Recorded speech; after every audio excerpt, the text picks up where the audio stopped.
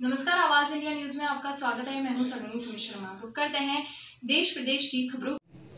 भीषण गर्मी और तन झुलसने वाली लू के दौर में मूक पक्षियों के पीने के पानी की व्यवस्था को लेकर चौटन एवं भीचराड़ पुलिस थाना परिसरों में मंगलवार को पानी के परिंदे लगाए गए। इतना ही नहीं, इन परिंदों में रोज़ाना पानी भरने की ज़िम्मेदारी भी सुनिश्चित की गई। चौहटन थाना अधिकारी बूटाराम विश्नोई एवं बीजराड़ा थाना अधिकारी भवरा राम के नेतृत्व में दोनों थाना परिसरों में खड़े पेड़ों पर एक दर्जन से अधिक पानी के परिंदे लगाकर पुलिस के जवानों को दाना पानी डालने की ज़िम्मेदारी दी गई। इस दौरान एएसआई सुबान अली, बाबूलाल धारीवाल, सग्राम सिंह रानवा, चौहटन आकोर सरपंच प्रतिनिधि सरूपा राम मेघवाल, पृथ्वी सिंह राजपुरोहित भरत कुमार लुम्बाराम, दिनेश सेठिया, मनोज सेन सहित पुलिस के जवान मौजूद रहे। अधिकारियों ने कहा कि पर्यावरण सुरक्षा के लिहाज से पक्षियों का बेहद महत्वपूर्ण योगदान है।